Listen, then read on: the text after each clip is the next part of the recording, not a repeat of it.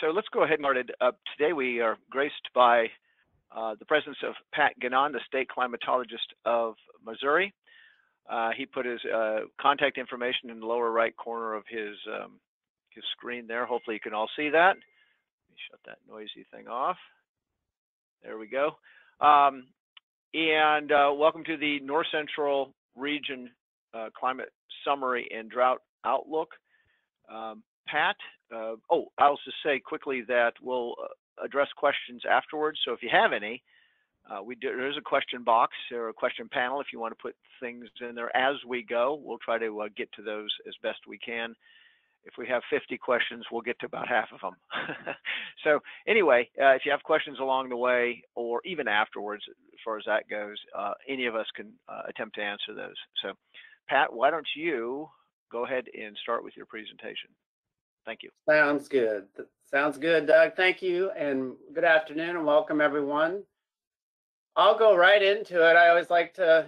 I, have been given some nice pictures by various uh, collaborators across the region, and always like to talk a little bit about what we've experienced over the past 30 days and, and show that visually. But uh, the last speaker, um, Becky Bolinger gave a, uh, an excellent talk, and she mentioned about, of course, we had that experience with the uh, two-week cold wave back in February, and uh, Becky had, gave some great information on that. But as we went towards the end of February, uh, February, we had a big precipitation event, and you can see in the upper left those two pictures. Uh, that's from a webcam uh, from Kentucky a mesonet station in the upper left that was taken on May 8th a few years ago. And then that's the same picture from the same weather station showing what happened in early March. They're actually that event, it was a major precipitation event that really hit Kentucky pretty hard and a little bit of southern Indiana and southern Ohio. But uh, it fell on February 28th, but there was a big response with the rivers and streams and obviously some major flooding with that particular incident, and you can see just how high the how high those waters got. Uh, the image right below that, there was another significant event that impacted parts of southern Missouri on southern Illinois around March 12th with some flooding and some water rescues reported in southern Illinois. And in the middle two pictures, how can I not talk about or not show pictures of birds when we're in the middle of migration season? But uh, these again were pictures taken from a mesonet. The top middle picture are um, sandhill cranes that were uh, landed near a weather station, a mesonet station that took, took a picture of the cranes in Kentucky as they were migrating. And then Doug Kluck, our host, he, on the picture below that, took this picture yesterday in northwest um, Missouri, southwestern Iowa, showing the snow geese that also were on their migration routes and taking a rest in a farm field. Upper right, uh, the other big event, I think during over the past 30 days, we had the flooding. And of course, this one, the one most recently, uh, this past weekend, we had a major winter storm and also some bigger precipitation, more in the form of rainfall as that storm translated eastward. But these were pictures provided by uh, Becky Bolinger here in northeastern Colorado. The top right picture shows uh, snow depth me measurements that were knee deep high in Loveland, Colorado. And then the picture below that is the Colorado State uh, University weather station in Fort Collins. And you could see where obviously these, this was a snow event that was measured by the feet. It was a big historic event impacting mostly southeast um, Wyoming, north the front ranges of the Colorado, northeast Colorado, and the western panhandle of Nebraska. A little bit of housekeeping, uh, some general information. These are the climate services uh, provided, providing climate services to the central region. It's a collaboration among state climatologists and NOAA entities, uh, the USDA climate hubs, and the regional climate centers. Our next Outlook webinar will be given by Dennis Todey from the USDA Midwest Climate Hub. That'll be on Thursday, April 15th.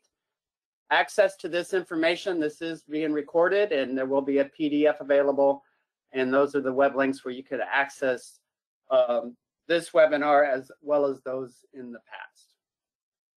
So today's agenda, we're going to talk a little bit about February. We'll go over meteorological winter for December, January, and February, a little bit of a recap. We'll look at the more recent conditions over about the past 30 days. we'll talk about snow, water, hydro, hydro situation, flood, drought, soil information. We'll break it down into each of the states, see what those impacts were. We'll go through the latest climate outlooks, and we'll take some questions and comments at the end of the session. So let's go right into the February temperature ranks. So the, these are the statewide average temperature ranks for the month of February. And you can see those blues are various. Uh, we had a cold February, and that was mostly due to a two-week event in February. February, where we saw those cold conditions, that brought those departures down. Uh, those deeper shades of blue are much below average temperatures. We had top 10 coldest Februarys in Nebraska and Iowa, in Missouri, and in Kansas, as well as in Oklahoma and Arkansas. Uh, it's interesting to note that uh, this cold wave was more intense in the central plains and southern plains and less intense as you go further north. Uh, there was a big event a couple years ago back in 2019 that was more intense uh, in the northern plains. And that was because at that period, it was longer than a two week period. It was a longer cold wave that lasted across the north central US. And that was actually more severe than the two week cold wave that we experienced just last month. Uh, obviously, things were worse though as you went further south into the central plains with those colder conditions, where that 2019 cold did not penetrate as far south as it did this year in uh, 2021. It was the coldest February for the contiguous U.S. in over 30 years. You have to go back to 1989, and it ranked as the 19th coldest February in 127 years. So we finished our three meteorological winter months, December, January, and February. Uh, how did those rank um, across the north central U.S.? And you can see what's interesting to know on the big image on the left show the uh, warmer than normal conditions for that three month period across, you know, much of the uh, north central U.S., the upper Midwest. But as you go a little further south into parts of Kansas and Missouri, it actually turned out to be a below normal winter and that's complements to that two week period that we saw in February, where temperatures over that period were more than 20 degrees below normal. That actually countered what we saw in December and January. And so on the far right, uh, the top right is December ranks, and then January and February. So those are our three uh, winter months. And you can see how warm it was. It was in December, it was the record warmest in one climate division in southwestern North Dakota much above normal conditions in north, north central U.S. And, and in January, that also continued in the north central U.S. with much above normal temperatures. And then, of course, we got hit by that cold wave in February, and that that was that's why we see a lot of blue in the middle part of the country with those below normal temperatures. But all in all, you know, December and January, January were unusually mild across much of Montana into the northern plains and upper Midwest, but it was that really intense two-week cold wave that mitigated these conditions for meteorological winter. so what about uh, precipitation for February? Uh, things were dry across much of the northern plains into the central plains. You can see North Dakota experienced their 12th driest of February on record, as well as Minnesota. Kansas had their 11th driest um, February on record. A little bit wetter conditions around Montana and Wyoming.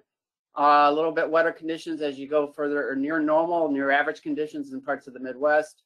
But overall, uh, Kansas ranked 11th driest, while North Dakota and Minnesota had their 12th driest February. Let's let's break that down into the winter months.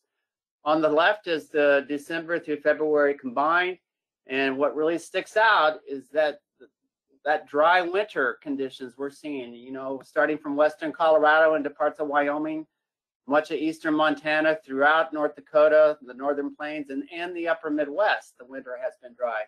North Dakota experienced their third driest winter on record, and records go back 127 years. On the right, we break it down in December, January, and February. Again, you can see that dryness that's really persistent in the northern plains. Uh, that's concerning considering the we've seen some droughty conditions that have been ongoing for several months in parts of the northern plains. So something we're going to need to pay close attention to as we go further into the spring season. Let's look at the most recent conditions or over the last 30 days. Well, that two-week cold wave we had in February was pretty much just a, a memory. of the overall trend we've been seeing. Um, from February 19th through March 17th, that was at the end of that cold wave, and things just rebounded to the way things have been for much of the winter, and for that matter, for much of the or the cold season, starting from November and January. Uh, March has been very similar to those warm conditions we saw in November and December and January. And you can see those departure from normals running more than 9 to 10 degrees above average. There was little to no snowpack this winter in North Dakota. And so that contributes to these warmer temperatures uh, hanging out up there this winter. And then, uh, but much of the eastern part of the um, central region, at least east of the Rockies, we've seen the, these above normal conditions, above normal temperatures persists for about the past 30 days or so. Precipitation, we obviously had a really big event more recently in the middle part of March. And uh, you can see the numbers here over the past 30 days. Those, those yellows and oranges are drier conditions, not much precipitation over the past 30 days across Montana into northern, North Dakota, northern South Dakota, parts of northwest Minnesota, and on into the into the Midwest, the upper Midwest, parts of southern Wisconsin, northern Illinois, northern Indiana, northern Ohio, and much of lower Michigan running below normal this winter or this past 30 days. As you go further south, you can see that major precipitation event that impacted Kentucky I talked about earlier. Also parts of the Ohio River Valley around southern Indiana, southern Ohio. And then, of course, more recently, that big event that impacted the the Front Range of the Rockies, southeast uh, Wyoming, and throughout uh, southern South Dakota, all Nebraska, much of Kansas, and on into Missouri and southwest Iowa. It was a big event that brought a lot of precipitation to that region. This is the precipitation percent of mean for the past for the last 30 days. Anything in those blues are indicative of uh, above or surpluses, above average precip. And uh, uh, that's mostly compliments of what we've seen over the past seven days in, in Nebraska and parts of Kansas and Colorado, Northeast Colorado and Southeastern Wyoming. And again, when you go further north into the east, you see those reds where you see those very dry conditions over the past 30 days across the, the northern plains into the upper Midwest, especially northern Minnesota, and then also down in southern Wisconsin, northern Illinois, southern Michigan, northern Indiana, and northern Ohio. It's interesting to note to look at some of those purples you see in, in Nebraska and Colorado and Wyoming. Those are some incredible percent of normals for the 30-day period, 400% of normal, and that occurred mostly mostly in within just a few days. I mean, there was some precip reported in, in parts of northeast Colorado where they received in just a, a, handful of days, which is more typical of what you would receive during the entire season from November, December through through March. So indeed a highly unusual and heavy event and welcome for that matter because of the antecedent dry conditions that have been in that area. This is radar estimate. I talked about just how how significant that precipitation event was back last weekend, back in the middle part of March. Anything in yellow, these are radar estimates this shows the yellow is two or more uh, inches of water equivalent precipitation. Uh, that's a lot of rainfall over a lot of real estate. It's just amazing to see those totals. And when we look, we, we see southeastern Wyoming anywhere from one, two to three, even more than four inches of precip noted across all of Nebraska. Look at those totals in the central and eastern part of the state. Those shades of red, five or more inches of precip. I will note that was you know it was just a couple years ago, back in 2019, we had somewhat of a similar situation around this time of year that led to some incredible flooding in the area that translated down the Missouri River into into, into Missouri. Uh, the antecedent conditions are the big reason why we aren't we didn't witness that sort of similar situation this year. Back in March of 2019, we still had a decent snowpack on the ground. The, the, the, the, soils were frozen. And so when that precipitation occurred, most a lot of it just rainfall, it immediately translated to runoff. It melted the snow, and you got this incredible pulse of water that really ramped things up and brought those major flooding conditions across that area. We just didn't have that this year because of the antecedent conditions where soils were thawed out. There was no snowpack and it has been very dry in the area. So uh, just a different scenario that we saw a couple years ago, even though so much precipitation fell over a fairly short period of time. So let's look at some of the snow water um, situation, the hydrological situation. On the left is the accumulated snowfall, uh, beginning with October 1 during the water year up through March 18th. And you can see uh, those various shades of greens and uh, those blues, some big snowfall totals in parts of Colorado, Wyoming, and Nebraska, and mostly a complementary of this most recent snowstorm in that area of the of the central region. Some greener uh, conditions as you go eastward into Nebraska, darker green in Iowa, where they had some decent snowfall. On the right, we that's the departure from normal. You can see where snowfall has been running above normal and below normal for the for the season, for the cold season, and you get a little bit of a stripe of above normal conditions, uh, generally from southern Wyoming through Nebraska, Iowa, into northern Illinois, parts of the eastern corn, corn belt. It's interesting to note that even though precipitation actually is below normal in parts of the eastern corn belt, but at the same time, some areas are seeing above normal snowfalls. You you don't see that sort of situation very often. Also interesting to note in the UP of Michigan how you know, there haven't been many Arctic air intrusions uh, for throughout the cold season. It's been a very warm period up in that area. And that Arctic air, that's when it flows over the, the warmer waters of the Great Lakes. That's what translates to these lake effect snows. And they just really haven't seen nearly as much this year because of the warmer conditions and lack of Arctic air impacting the area. And so we're running quite a bit below normal in uh, the UP of Michigan and along the uh, the shores of western lower Michigan. We're running below normal in regard to snowfall. This is the current snow water equivalent. Uh, that big snow event in March, mid-March, dropped quite a bit of snow across uh, parts of northeast Colorado, the front range of the Rockies, and southeastern Wyoming.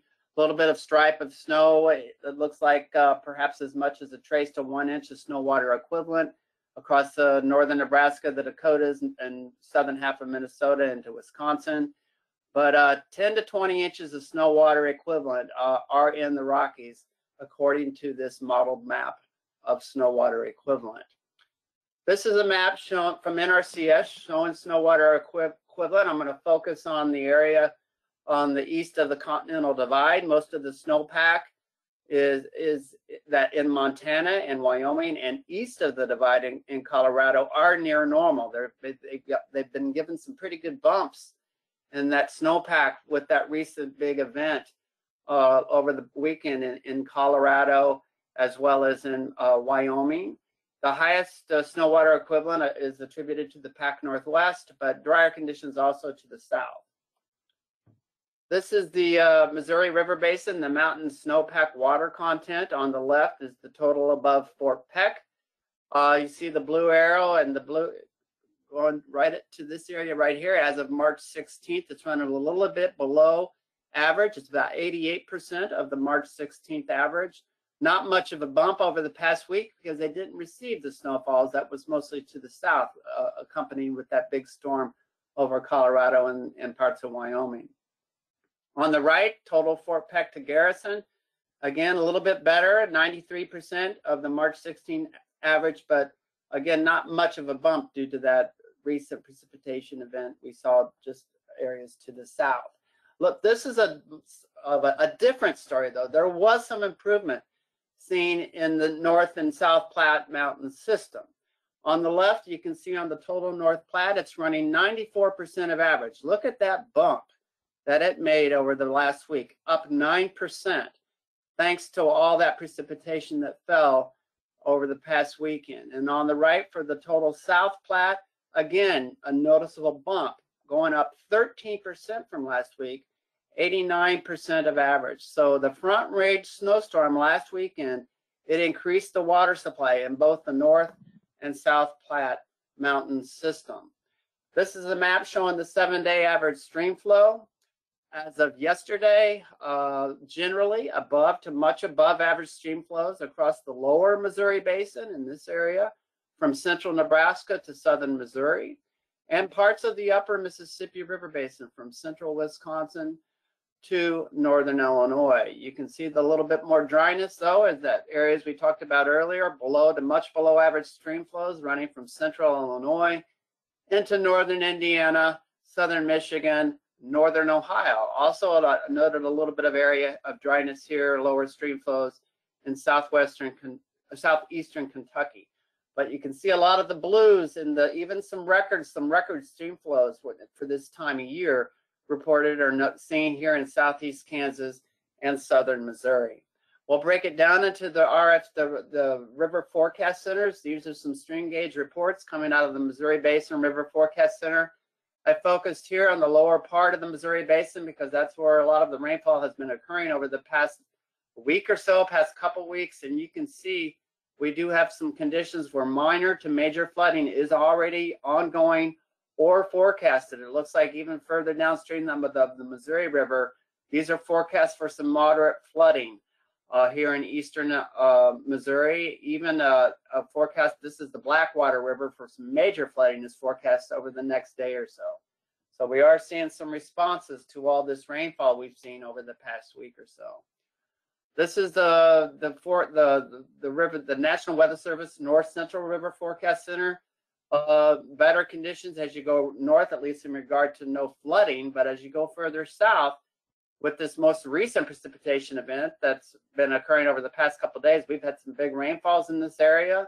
Minor to moderate flooding is occurring or forecasted over the next few days. So something to keep an eye on as we go later on into the weekend, the weekend. This is the Ohio River Forecast Center showing again minor flooding occurring or forecast across here, parts of southern Indiana into, and then that's pretty much the area where minor to moderate flooding is occurring or forecast over the next few days. Looking at the Great Lakes ice cover, well, you got to look hard to find any ice. Uh, it's been going down uh, since uh, over the past few weeks, especially with these warmer March conditions, down to 7.3%, covering uh, all the Great Lakes. And so I looking real quickly here, I maybe around just uh, around the Door Peninsula. I, I, believe that's the Bay Area of Green Bay, Green Bay, and then northern parts of uh, Lake Michigan over here, eastern parts of Superior. Not a lot of ice out there, and of course they've had a very mild winter for much of the season, going all the way back into November around the Great Lakes. Looking at the levels, check, looking at some of the master gauges that I've highlighted here. Uh, at Superior right here in Marquette. Uh, last year was a, a, you know the, the levels are still still running pretty high. This blue line shows as of March 15th it's running above average, which is the green line, but it's below the record levels that we witnessed last year here at Lake Superior. And, you know there were record levels last summer into the fall, but with these warmer conditions, uh, more evaporation are going into the winter with some above average evaporation and with below average precipitation, those, those levels have been dropping, but nonetheless, they still are above normal uh, as of mid-March. At Michigan Huron, this is the gauge at Harbor Beach. You can see again, uh, not at the levels we saw last year in 2020, but nonetheless well above the average uh, as of March 15th. And then over in Lake Erie at, at Fairport, Ohio, somewhat of a similar situ uh, situation as the other lakes were not near the levels that we saw the record levels last year, but nonetheless still running about above average with the blue line here. This And is Pat- the latest. Yes.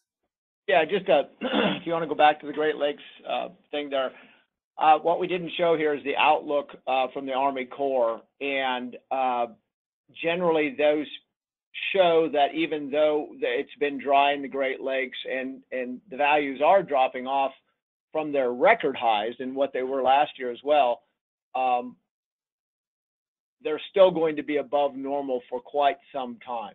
So expect the Great Lakes to be above normal. That's it. Thank you. Sounds good. Thank you. Doug. Yeah, the lines do indicate they're still quite a bit above average, even uh, just not, yeah, nothing like the, the record levels that we saw last year, but still running high. This is the drought monitor map from that came out this morning showing the the dry conditions that just won't go away across the, much of the northern part, north northern part of the north central U.S. and western into Colorado. Extreme to exceptional drought conditions impacting western parts of Colorado even parts of southeast, east central on into central Wyoming. And then, of course, the area up in uh, North Dakota and parts of eastern Montana where we still see some extreme drought conditions. a little bit of improvement. We'll go, I'll show, I'll reflect where we see this improvement. A lot of it's due to that big winter storm with all that precipitation that fell uh, last weekend across much of this area. There were some two category improvements because of the heavy precip that impacted parts of northeast Colorado and southeast Wyoming. But most one category improvements in all of pretty much all of Nebraska, southern South Dakota, western, southwestern Iowa, northern half of Kansas. A lot of improvement. Unfortunately, worsening drier conditions denoted uh, category deterioration in parts of North Dakota and Montana, as well as a little bit here in Western Illinois, Northeast Missouri. I have a feeling that will be going away next week, uh, but also deterioration in Northern Ohio, as well as parts of a little bit of Northeast Indiana with the drought conditions. The soil moisture does reflect pretty, you know, that, that wetter condition we've seen over the past uh, several days across the Central Plains. Uh, and this is uh, an anomaly that, that provides the soil profile using modeled information going down to about five feet, but does show these dry conditions, uh, the anomaly across the Mich southern Michigan, northern Indiana, northern Ohio, and into North Dakota. What we talked about, of course, here in parts of Colorado, some very dry conditions as well. But we did get some some um, mitigation of the, the soil profile in regard to the the big event we saw this past weekend in parts of the plains and, and Colorado and Wyoming. These are soil temperatures at the four inch level. Uh, the frost line is starting with these really mild March conditions uh, compared to what we saw in February. That frost line is retreating northward. Uh, there are these are showing the pretty much uh, no frost line in, in Nebraska and much of Iowa, Illinois, Missouri, and Kansas. Uh, perhaps I did hear reports that southern Minnesota has pretty much thawed out, even southern Wisconsin. You can see these reports out of uh, North Dakota, especially eastern parts of North Dakota, where the, we still have a frost line, probably northern, north, South Dakota parts of uh, probably northern half of Minnesota on into northern Wisconsin. We still have a frost line, but nonetheless, it has been retreating northward over the past few weeks, especially with those really mild conditions we had during the, the first couple weeks of March. We did, did get a little bit of vegetative response, uh, especially of the southern parts of, around Kansas and Missouri on into Kentucky with the mild March conditions. They've been somewhat tempered over the past few days. Over the past few days, uh, conditions is growing conditions has slowed down somewhat because of the cooler weather, the cooler conditions. But nonetheless, we have seen a little bit of green up, and that, that is noted by this map, the first leaf index, which extends all the way up into northern Kansas, central Missouri.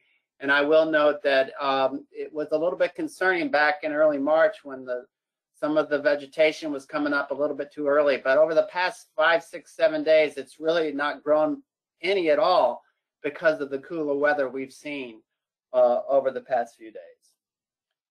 So I'm not going to go through all of this. Again, this this webinar is recorded, so you're more than welcome to to go check the recording or look at the PDF if you want to read the whole map. But uh, these uh, we get a lot of great information from the collaborators who who work with, with putting together this uh, this webinar and, and submitting it once a month. So uh, I feel obligated. I got to put everything out there when they provide all this good information. And for me, the best way to do it is just to break it down into the states and try to fit in as much as I can with some a lot of the impact reports that we've been getting. Uh, I will say that it when you when you look at the the the the text here in all the states, a lot of it is related to you know extreme events situations like we saw the flooding in Kentucky back at the end of February and early March and then the mid-March snowstorm that dropped so much precipitation across Wyoming, parts of Wyoming and Colorado, and on eastward into uh, Nebraska, Kansas, Iowa, and Southwest Iowa. So uh, feel free to perhaps uh, when you have some time and this is recorded, you can go through some of the some of the information. I will note more recently, uh, I'll just focus a little bit here on Colorado and Wyoming because it was such of an impactful event but it, it just brought some really big improvement especially east of the Continental Divide. Uh, and I talked about how the two category improvements across uh, in one week, and then also there was there were some reports on the livestock impacts that actually came out of the Colorado Extension offices. I ran out of room in Colorado, so I fitted it up here in Wyoming. But obviously, there was some big impacts in southeast Wyoming with ranchers and all that snow. But uh, particularly, there were particularly there were a few reports that that some of the calves would get covered in snow and they'd, and they'd be trampled by the cattle. So fortunately, that wasn't a common occurrence, and there was nothing anything widespread or uh, in regard to losses. I do want to note North Dakota and parts of eastern Montana where that drought is ongoing. You know, they did have one of their driest winters on record, and it was their driest September through February on record. So we're going back six months to find dryness that's unprecedented, going back 127 years. And so you get a lot of impacts when you go that long, and it is critical that precipitation needs to return to this area or these impacts are only going to multiply. And so hopefully, you know, we'll see a pattern change with more precip, especially in this region where it is so dry, not to mention what we're seeing in parts of western and southwestern Colorado.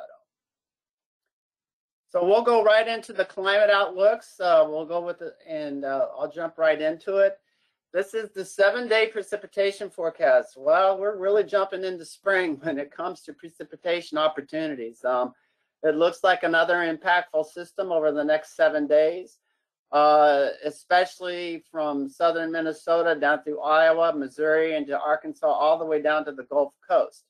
Those are some totals that are running anywhere from the blue is about a half inch to over two inches in this purplish area you see in parts of northwest Iowa. That actually would be nice to receive because that's the driest part of Iowa, is the northwestern part of the state. And so hopefully, you know, those soil temperatures have thawed out and there'll be some opportunity. If this forecast verifies, we're going to get some good infiltration of that moisture into the soil profile. Uh, what we really don't need is more precip in Missouri. And, uh, you know, they're missing out, unfortunately, in that dry, those drier areas of northern Illinois, southwest, southeastern Wisconsin, and southern Michigan, and it looks like far northern Ohio and Indiana. According to this forecast, that heavier precip is going to be just to your south. But it does look like uh, some significant precip, though, forecast all the way from Minnesota down to Louisiana. This is the six to 10 day temperature and precipitation outlook that will cover us for next week. Uh, and you can see on the left, it does look like an enhanced likelihood of, across the eastern half of the country for above normal temperatures. Cooler conditions as you go west across the southwest from southern Wyoming down through Colorado and to New Mexico. It does look like more uh, perhaps unsettled weather as well with uh, above normal precipitation indicated for much of the NWS central region. Unfortunately, well, it's not below, but nonetheless, it looks like maybe near average precip across the northern plains on into eastern Montana. But um, there looks like there might be some potential to help alleviate the dryness that we're seeing in parts of uh, Michigan and Ohio, Indiana by next week with other precipitation chances. This is uh, the new outlook that just came out this morning for the month of April, temperature and precipitation. On the left, I see a lot of orange and shade, various shades of orange. There are indications that April will average above normal. At least the strongest or highest likelihood is in this darker shade of orange. Uh, and it does look like above normal temperatures are anticipated across all the, pretty much all the NWS central region and then on the right, uh, below normal precip is in the cards, at least according to the forecasters. There's, there's a little bit of an enhanced likelihood of below normal precipitation. Not good for, uh, you know, western Colorado where they really could stand to use some more precipitation. Equal chances across the west of the, the, the north central area for precipitation. A little bit more uncertainty when it comes to precip for next month in that part of the of the country. This is the three month outlook, April, May, and June. Again, hot off the press, showing a lot of the country covered in various shades of orange for above normal temperatures for the April, May, June period. Highest likelihood across the southern half of the country. On the right, we see below normal uh, precipitation indicated, not good when we consider much of the western half of the country is still experiencing some form of drought category. Below normal precipitation is anticipated. That extends all the way eastward with just a slight enhanced likelihood across northeast Wyoming, southern Montana, western Nebraska, the western half of Kansas. Above normal precip is anticipated perhaps for the upper Midwest, and that extends downward into eastern Illinois, much of all of Indiana, Ohio, into the eastern half of Kentucky for above normal spring precipitation for using them looking at the months of April, May, and June. this is the June, July, August temperature and precipitation outlook. For our summer outlook, uh, it does look like all of the country is painted in a shade of red. uh, it looks like the highest likelihood will occur in the southwest. Of course, we do have drought conditions. I'm sure that was taken into consideration. Uh, the antecedent soil moisture conditions that are ongoing, very dry conditions, but there are even the even all of the corn belt is they're forecasting a, a slight enhanced likelihood of above normal temperatures this summer. And that dryness, it looks like it, it was shifted a little bit further north and northeastward for the summer for below normal precipitation with the highest likelihood extending from um, oh, from Montana through the Dakotas, most of the Dakotas, western Minnesota, northwest Iowa, all of Nebraska, and northern Kansas. So it'll be interesting to see if this forecast verifies, but it does look like uh, above normal conditions uh, for temperature, at least into the spring as well as into the summer. That pretty much wraps up my presentation for today. I just I will uh, reiterate reiterate that these recorded these um, presentations are recorded and are available at the Regional Climate Center's websites, the Midwestern Regional Climate Center and the High Plains Regional Climate Center, as well as uh, other uh, resources where you can get from some of our partners. I listed the web links here. And I, I uh, Doug, I tried to keep it down to 40 minutes, like you said, so I'm almost there. But thank you, and uh, again, uh, thank thanks so much, and I'll hand it back over to you for you, Doug. For thank you very much. Thank you very much, Pat. Uh, it was excellent. You, uh, like like your comrades, you covered uh, incredible amount of information in a very short period of time, and uh, that's what I think people uh, get on these for to some degree. Um, if you'd back up a few slides, maybe to, uh, oh, the monthly outlook, let's start with that and just leave that up. Yeah, for now. Because um, we might be coming back to this when we talk about um, some of the issues that we could be seeing uh, April into the summer. So just in case we, we need that. Um, okay, uh, I'm going to start at the top here. Uh, and, and by the way, we have Dennis Todey on, who's going to be the speaker next month, and sort of a pivotal month, if you will, from a at least from a growing standpoint, and uh, what we're going to be discussing in the next couple minutes, it, uh, from a growing season as well as uh, uh, uh the problem with too much warmth and too much dryness, if you will. And sometimes, if just with the dry, uh, warmth alone, uh, that can present some problems, uh, obviously from a, a, late freeze point of view, as well as in evaporation or trans, evapotranspiration point of view. And both both Pat and uh, Dennis can speak to that at some point here. Um, so let me try to get through this as quickly as I can. I did post, if in case you're interested, I did post something called uh, NOAA's Spring Outlook, which came out today that's uh, a bunch of different parts of NOAA came together to uh, uh, put that together. Uh, there's a link, if you will, in the chat section, and um, I may send that out on my uh, regional list as well, uh, in case you, in case if you didn't, if you can't see that. Um, that's more or less what it's going to more or less present what we did here today, but broadly across the nation. So that, like I said, is something you may want to see. Um, so question, one of the questions that we got was, uh, was February's uh, two weeks cold snap response to the polar vortex and uh, a destabilization from the polar vortex and what was happening at North Pole at the same time. So generally, we talked a little bit about this the last last month, but um, it was a delayed response to a sudden stratospheric warming event, which I won't go into great detail uh, for a lot of reasons uh, that happened, and they're not that common, but they're also you know, once every other year or every two or three years or something like that. Those those types of things happen in some part of the northern hemisphere.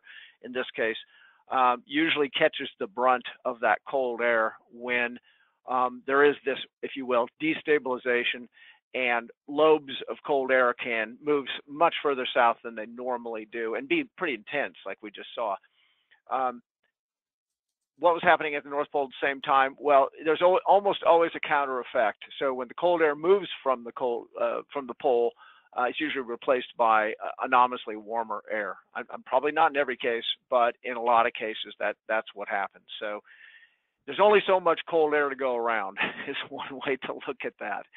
Uh, any comment on the?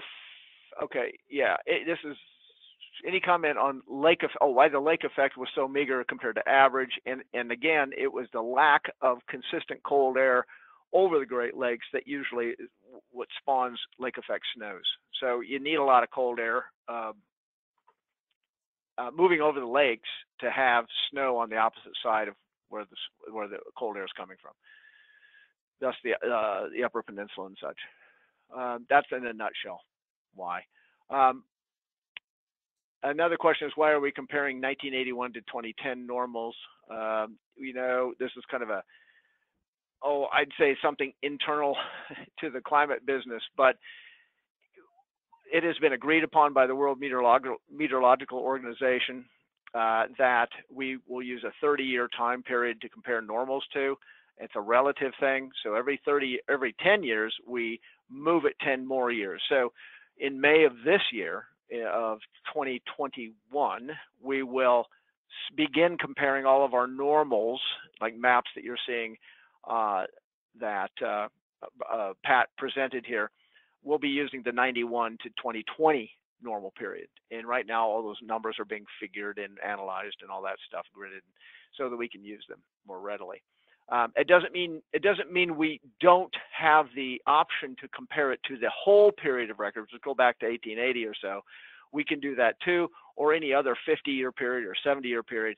It's just commonplace and uh, sort of the agreed upon way to uh, compare to normal. Now, you may see changes, especially in the early part of the decade, if you will, uh, in terms of um, things not appearing to be as warm um, as uh, you know, not not breaking the warming. Uh, the the the, temp- the abnormal te- the anomalous temperatures may not appear to be as warm as they used to.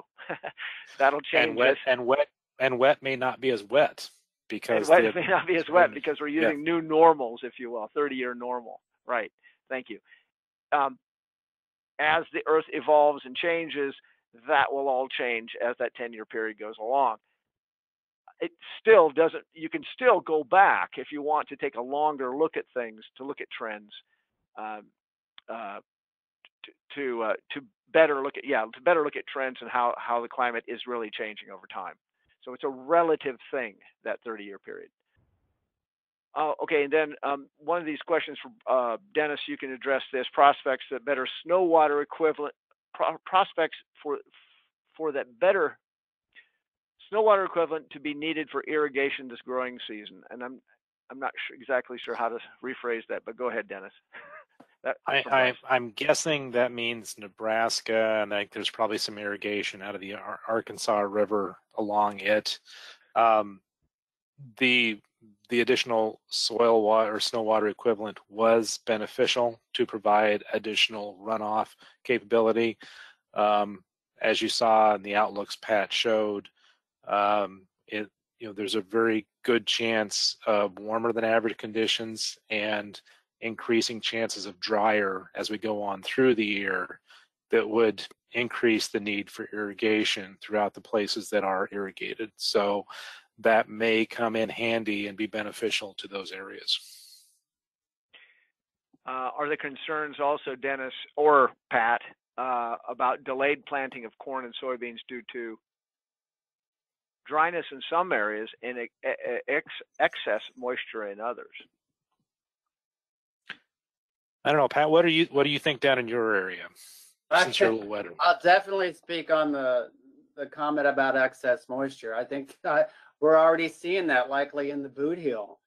you know, it's it's mid March, and you know, field work activity is ongoing. There's been it's not out of the it's not you know they could be planting they they have planted corn this time of year in southeast Missouri, but it is wet.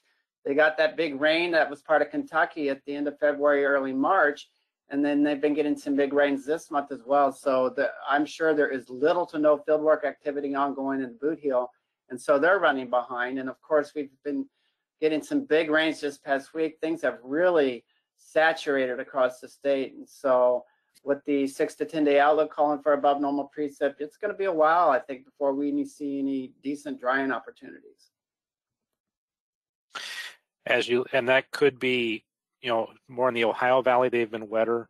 And Pat's area, particularly, those soils are a little heavier. They don't dry out as quickly. As you get further north, soils are drier generally, have not had as much precipitation. So I expect much less delay. In fact, I could see quite a bit of early planting, uh, earlier than average planting for people taking advantage of the dry conditions to go ahead and get moving on that. One, it's just quicker to get things done. Two, uh, corn, particularly if you can plant it early, you want to take advantage of that and get it to tasseling, hopefully before the hottest conditions midsummer approach. Yeah, there's a lot of timing concerns. Um, depending on where you are. uh, okay, and this this is actually uh, this next question is sort of knocks off a couple birds here with one stone. So, why is it difficult to predict precip precipitation in North Dakota, Minnesota into April when other areas are labeled as uh, higher likelihood of blah, blah.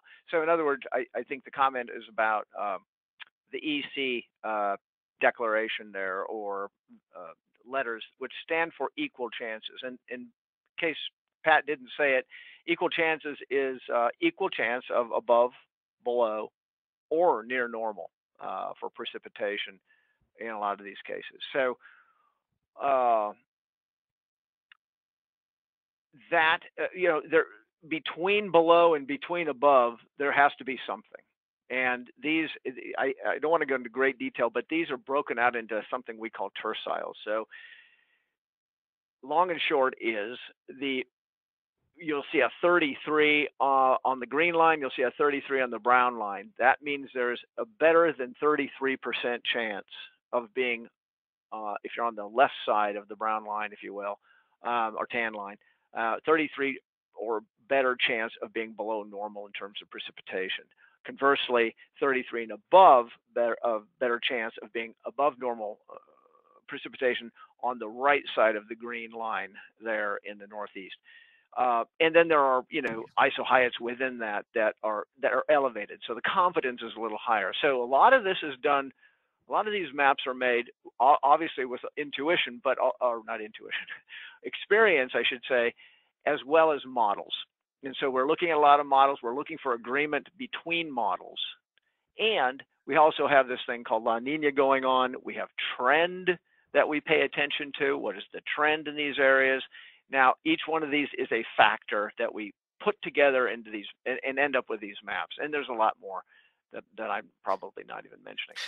Doug, I, I love calling you out when you use technical terms. What's an isohyet? Okay. Isohyet, a line of equal uh, equal amounts there. So yeah, I figured everybody knew what that was.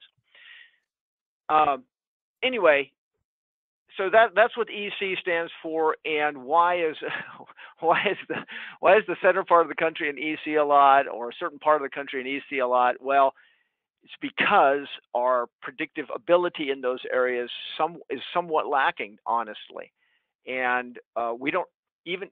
So when we look at trend and we look at calibrations and all those things, we just don't see the models behaving very well in those areas. There's a history of that uh, no matter what we've done to improve them up to this point. So sometimes that explains why you see an EC in there, and, and that is sort of a, a, lack of consensus, if you will. And so we could go either way, is what that means. Could be wet, Doug, could be dry. I, Doug, I think a good thing to add on too is that I think we still have a Pat has the, the monthly outlook. Even the areas that are shaded, like that area that's shaded in the plains, that is the third between the 33 and 40 line on the dry side, that means it leans towards the dry the the chances of being dry are only slightly increased by a few percentage points. So it's it's yeah, we have a better chance of being dry, but not a big chance of being dry. It it it does get more and more worrisome the higher those values get. So Salt Lake City, for example, um, that has a greater than 50% chance of being dry, according to this outlook for April, May, and June. That's not good. That's not good, especially if you're if you're coming off your driest year of all time, which Nevada and Utah are. 2020 was their driest year on record, not in the last 30 years. So, um, yeah, there are a lot of people who don't like seeing uh, those dry numbers. And and like I mentioned earlier, above normal temperatures. I don't know, Pat and uh, Dennis, if you want to address that right here now in terms of what that could mean in terms of evaporative potential and why regular precip may not be enough. Pat, you want to go ahead and take a swing at it? Um, right. Well, above not when I, are you talking about this the summer outlook or what we're seeing here in April, May, and June? I'm talking about Or above just- normal temperatures either way in July and any time. Above normal temperatures does what that makes precip hard to catch up, basically. No matter if you have ra- uh, average precip Right, or whatever. Right. Yeah, above normal temperatures obviously will drive evaporative demand.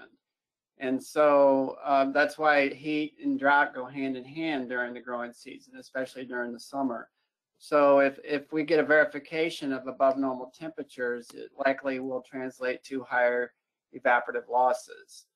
Um, so you know that's that that's that's part of what's put in these in these outlooks. They always they do consider as you go into spring and summer the antecedent soil moisture conditions, and that cat could have an impact if you have a drought already ongoing. You have really not much moisture in the soil profile.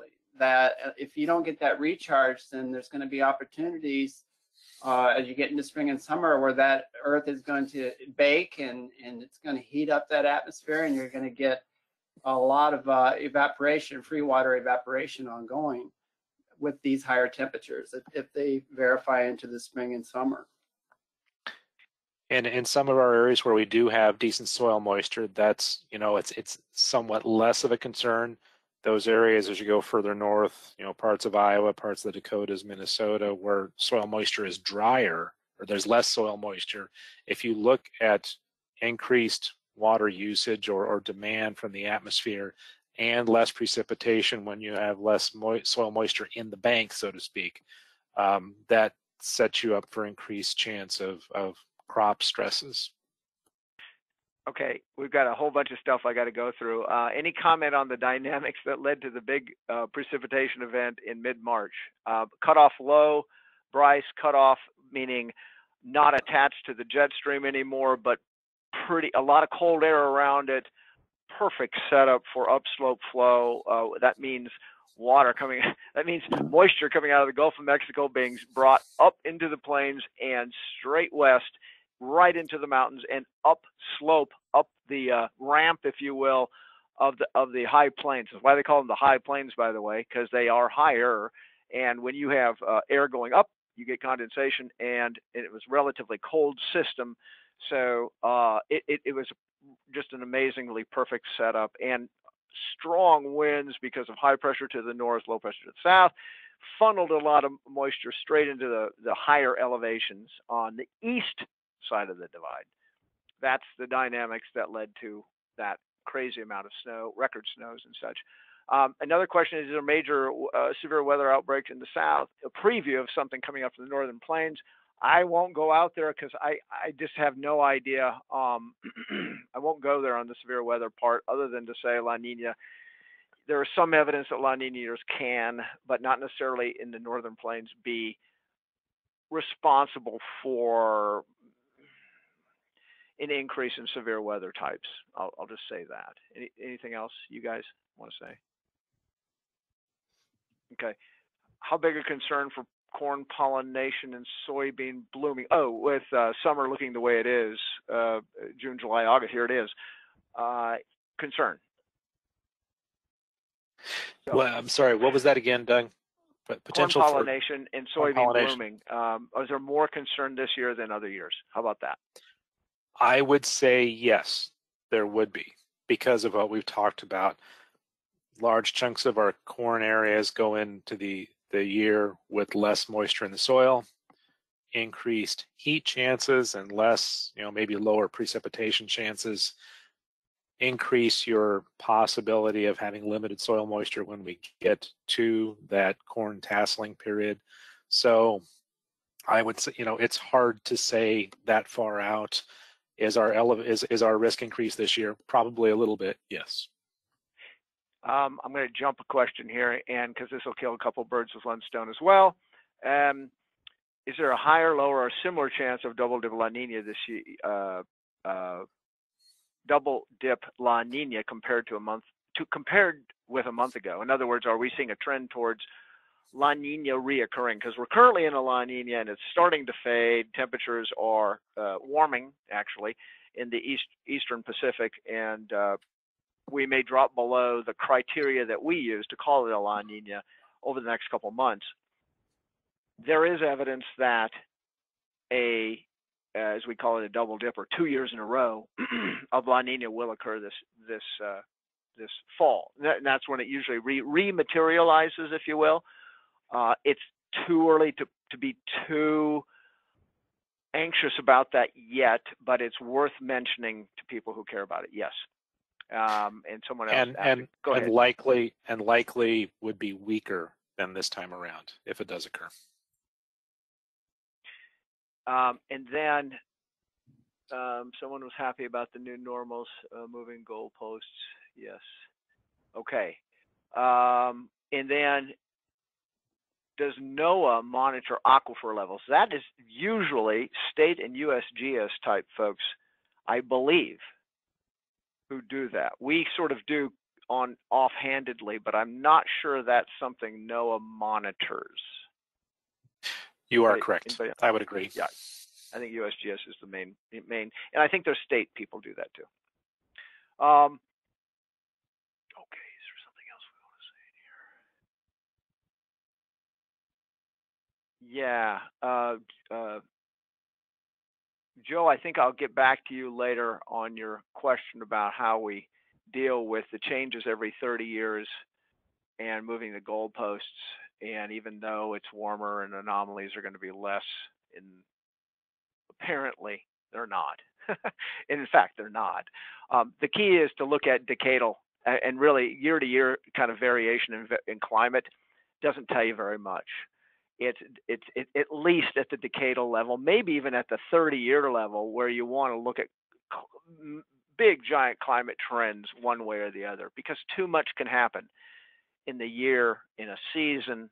Um, in February of this year, uh, crazy things can happen. We call that a lot of that's variability, and that's the chaos of the system, and we're sort of used to that to a degree. So, so looking at climate over a long period of time, at least at the decadal levels, pro- is the safest way to go when you're trying to communicate that uh, out often. Um, so, any other comments along those lines? Communicators on the phone.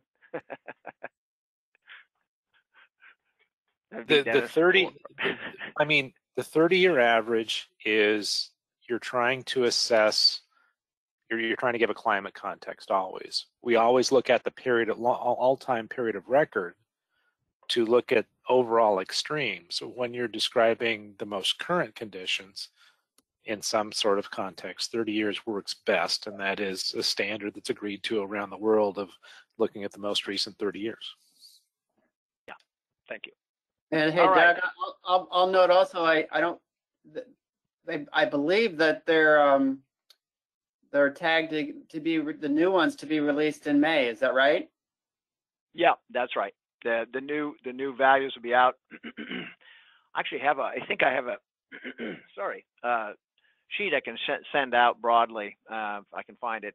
Uh, that might explain some of the changes coming up. It'll be interesting to see the differences between the last 30 years and the current.